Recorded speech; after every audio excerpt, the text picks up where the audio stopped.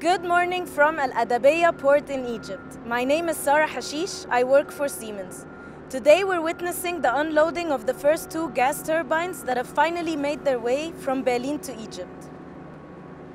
It is a very important day for Siemens, for us, and for Egypt because today the first two out of 24 gas turbines which will be brought into the country are delivered to the port. The largest gas turbines from Siemens, we call them the 8000H, which is the H class from Siemens. It is the first time that they are being installed in the Middle East. And what's the benefit to the people of Egypt? The new clean energy will be used by everyone. It can be used by the households and it will also be used to boost the industry.